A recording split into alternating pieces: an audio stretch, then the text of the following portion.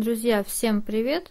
Сегодня у нас с вами будет небольшой обзор товаров для сада и огорода для нового сезона, огородного сезона 2020. Некоторые из этих товаров вы уже могли видеть, если смотрели мой обзор товаров, товаров из фикс прайса. Кому интересно, оставайтесь со мной. Я сейчас поподробнее расскажу, что, как, для чего нам нужно, а также покажу семена, которые мы все-таки не удержались и купили. Начну я с самой основной покупки. Это у нас кассеты для рассады. Купили мы э, кассеты двух видов. Вот кассета на 200 ячеек. Они довольно-таки маленькие, эти ячейки.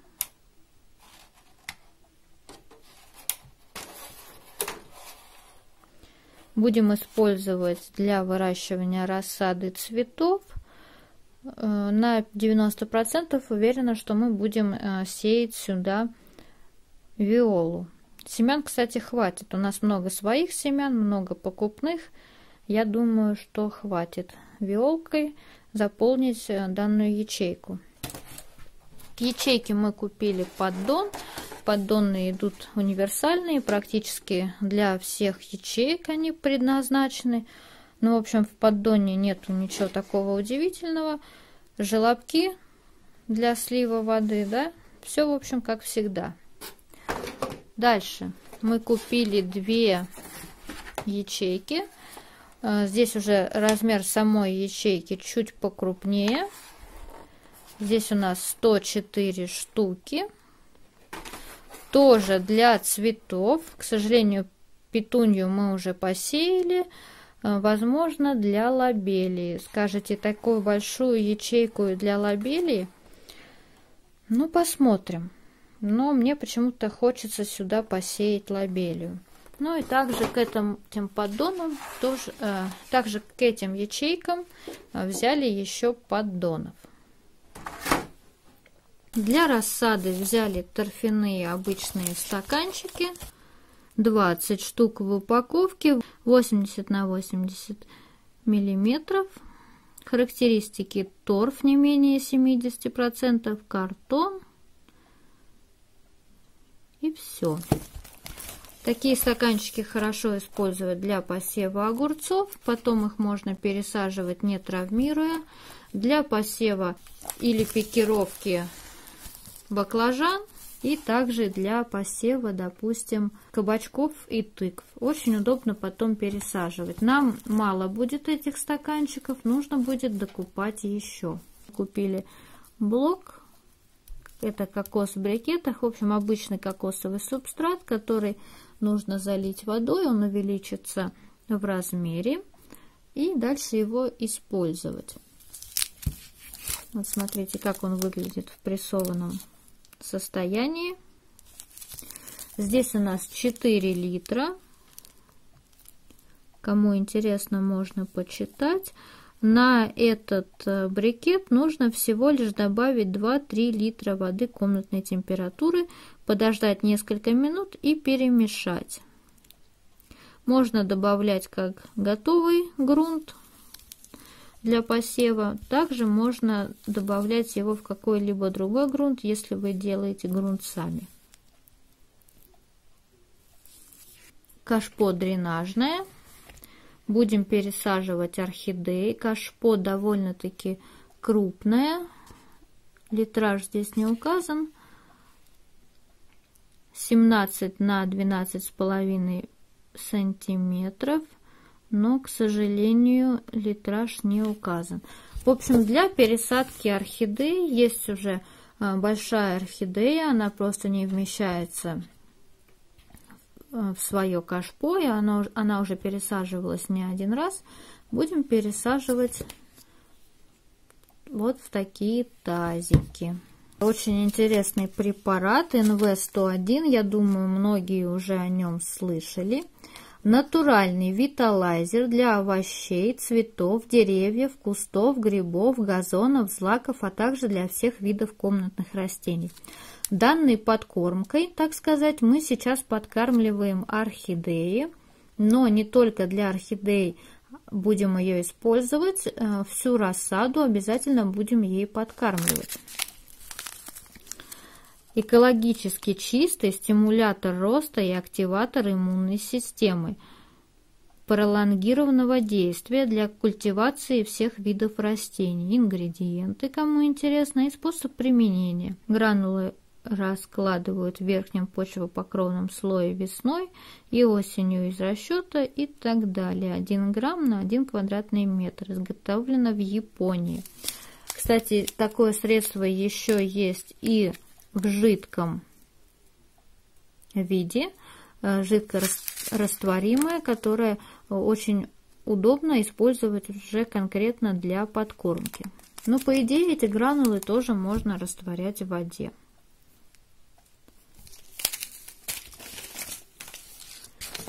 Ну а теперь самое интересное. Не удержались, называется. Еще душистый многолетний горошек. У нас, кстати, в прошлом году он рос. Вообще обалденно, изумительно цветет. Надеюсь, он перезимует хорошо.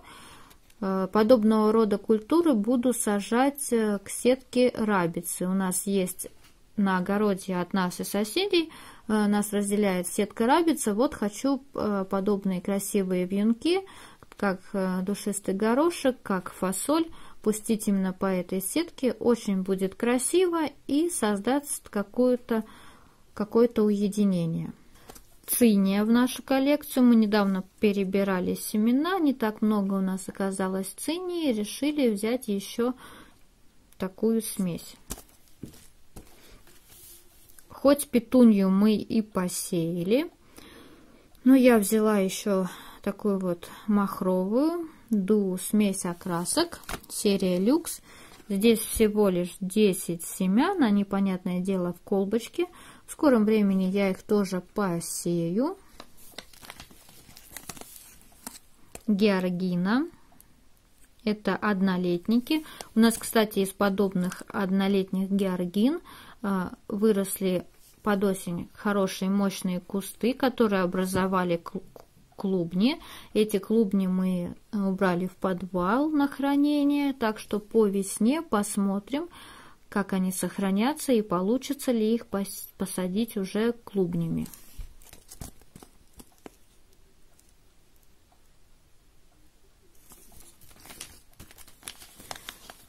Василек. Мы очень любим васильки. У нас есть и свои семена, есть и, и различные смеси. Но вот такого темного у нас нету. Высота 80 сантиметров. Это довольно-таки высокое, неприхотливое однолетнее растение. Очень легко сажать и долго всегда прекрасно, красиво цветет. Про виолу я говорила ранее, что у нас много семян, и еще мы купили, поэтому я думаю, что кассету в 200 ячеек мы виолкой заполним без проблем.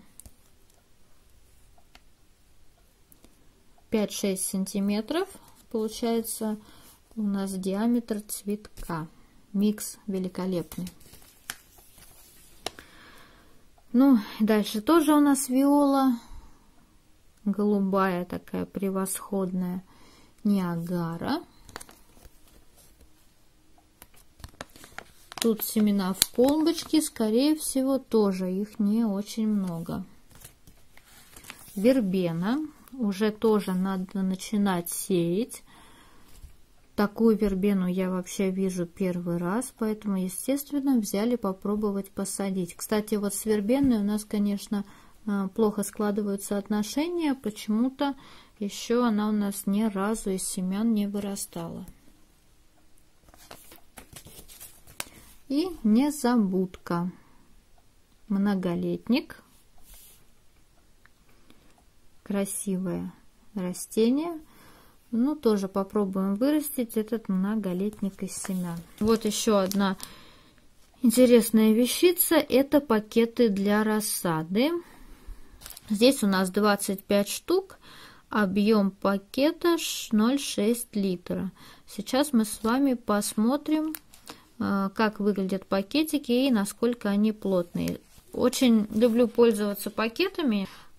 Очень удобно. Во-первых, пакеты занимают мало места, когда их нужно хранить. По сравнению с пластиковыми стаканчиками, вот 25 штук здесь, да, объемом 0,6 литра. Представьте, сколько пол-литровых, это большие пивные стаканы, и сколько они займут места. Естественно, 25 штук стаканов не займут вот так мало места. Сейчас мы посмотрим, насколько они плотные. Мне, конечно, что-то подсказывает, что они не настолько плотные, как э, мои пакеты, которые я покупала непосредственно в интернет-магазине э, для рассады. Но все же, я думаю, больше, чем на один сезон их должно хватить.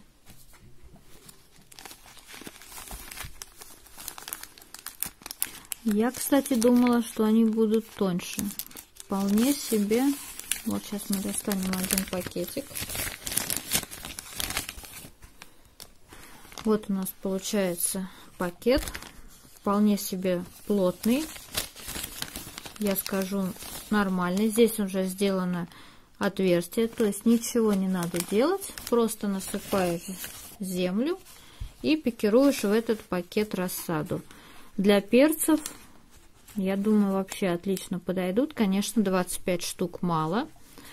А, помидоры.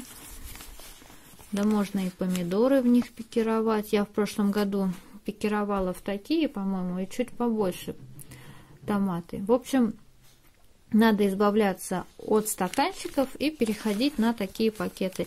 Очень удобно из этих пакетов э, доставать уже рассаду, ничего не травмируется, никакие корни, все прекрасно достается.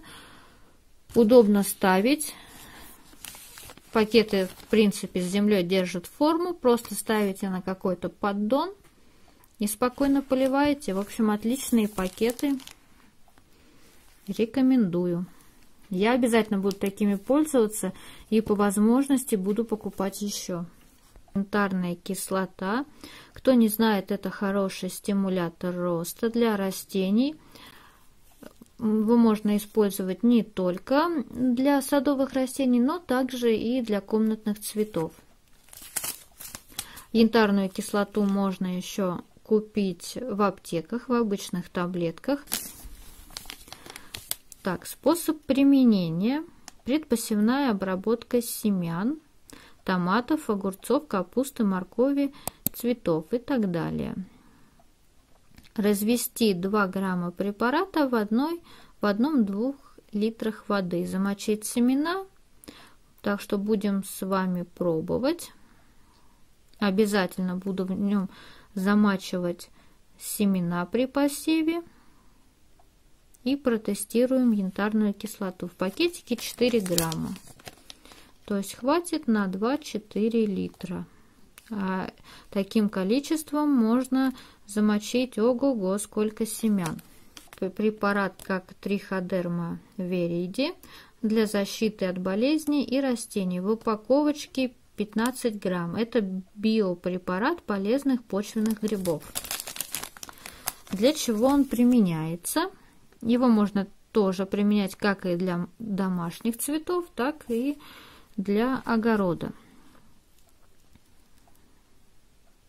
Тоже предпосевная обработка семян, капуста от черной ножки, огурцы, томаты, вот различные культуры.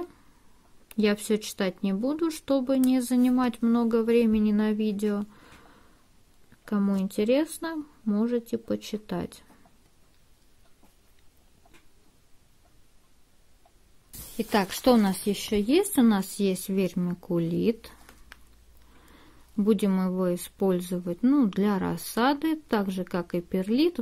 Возможно, еще, ну, этого количества, естественно, нам мало. У нас где-то был еще перлит. В общем, это все в грунт будем использовать или для черенков. У нас скоро наступит пора проращивания винограда, проращивания э, из черенков э, смородины. В общем, все это пойдет в дело. Здесь, кстати, объем 1 литр. Ну и куда же в огороде без перчаток?